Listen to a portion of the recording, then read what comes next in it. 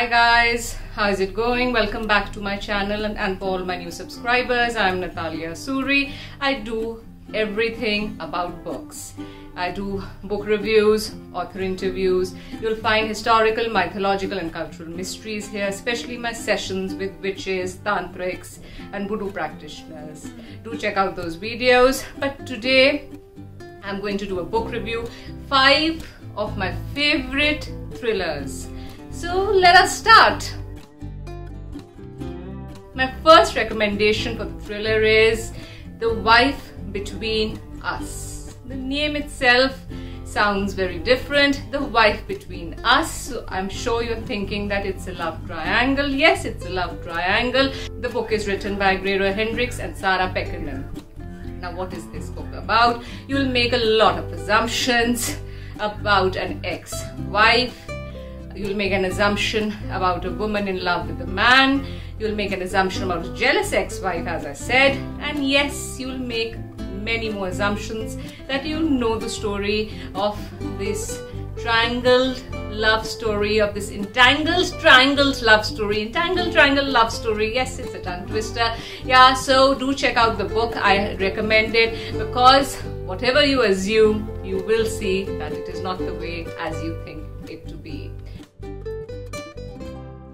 my second book recommendation is sometimes i lie sometimes i lie by alice feeney uh, so why this book?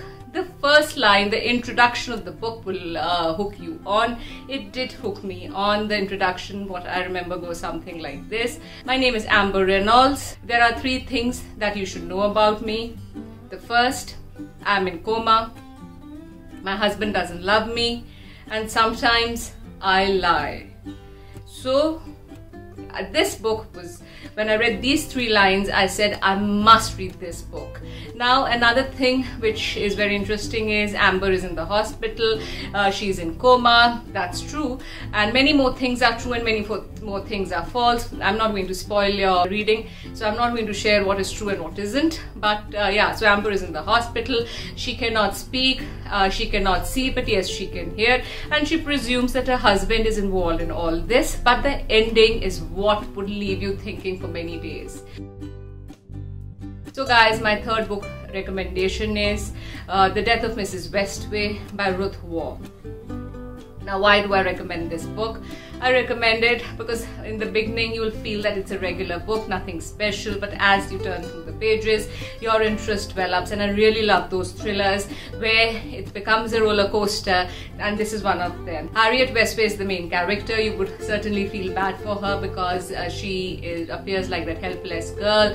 Uh, the loan sharks are after her. She needs that money desperately and then one day she receives a letter that her grandmother has uh, left her um, treasure perhaps. I would not share what she has left but yeah so she receives that letter. But the hitch is that her grandmother passed away 20 years ago. So now a grandmother leaving behind a, uh, an empire and grandmother passed away 20 years ago. So i'm leaving you with this third recommendation. Uh, do check this book out. I'm sure you're going to enjoy it. The writing is beautiful. It's uh, especially very soft and uh, the, reason i really liked it was writing also so that is the second reason i recommended. the character of harriet Westaway, something you would really really like i i could connect to her she was she appeared like the girl next door for whom you feel bad but then the twists and the turns happen i don't want to make it a spoiler so do check out this book so guys, my fourth recommendation is The Silent Patient. Now, it's a debut novel. Why am I recommending this? It's a psychological thriller, a genre which I really love. And another thing is that it's about a wife and her husband and a third person. Can you guess that third person from The Silent Patient? The name? Perhaps no. It's a psychotherapist now, Alicia Berenson's life looks absolutely gorgeous. She's a famous painter, married to a fashion photographer. Now, what happens? Why does she shoot her husband and then goes absolutely quiet about it? you will come to know. And then, then what happens and what is the reason that Theo Faber, a psychotherapist, gets involved and he wants to talk to her and makes it a motive and his determination about it. It unravels many sides, especially those dark sides. If you like such things, if you like the dark twists and turns, it's a novel that I certainly recommend. Even though it's a debut novel, but supremely well written, you will keep turning those pages. There are unending cliffhangers which you will love and enjoy. And this book will leave you thinking. So, this is my fourth recommendation. And yes, my fifth and the last recommendation is The Gone Girl by Gillian Flynn. It is a book which I really, really love. If you've checked out the movie, I do recommend that you read this book. You are going to certainly enjoy the book. Amy is very, very calculative. She befriends people. You come in her way and she teaches you the lesson. Uh, in the beginning, this character looks like a very, very friendly character, but later on, you see what changes really come about. Uh, and yes, her husband Nick he play, pays the price. It has got far too many twists and turns, all unexpected. You may think A, but the writer has put a Z there. So yes, I would recommend this book, especially for the dark twists and turns. And if you really like those uh, roller coaster rides, so this is a thriller that you must must read. Yes, though even though it is the husband-wife relationship, but it is 100% recommended for the planning the writer has done in it. So yes, do remember to post in your comments, your views, do subscribe because it's wonderful to see those figures going up.